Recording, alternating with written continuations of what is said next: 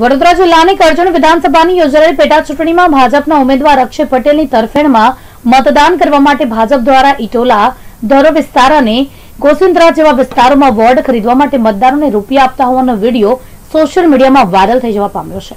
આ મુદ્દે કોંગ્રેસના ઉમેદવાર કિરીટસિંહ જાડેજાના ચૂંટણી એજન્ટ ઉપેન્દ્રસિંહ રાણાએ ચૂંટણી અધિકારીને લેખિત ફરિયાદ કરી હતી.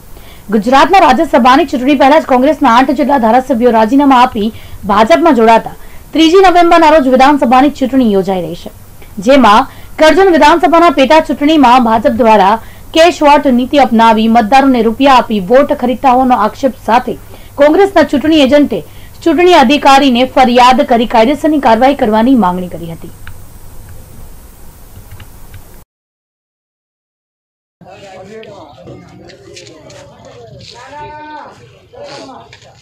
ચાલો. એક નંબર દબાવવાનું કમળનું બરાબર?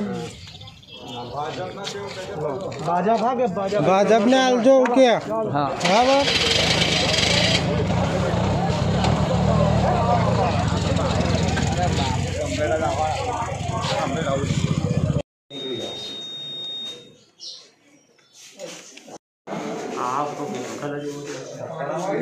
ખોટી જગ્યા ઊભા છે આપણે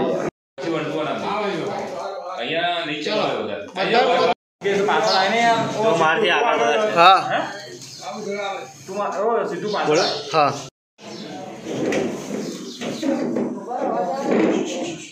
ઉપર જ એક જ મિનિટ હા.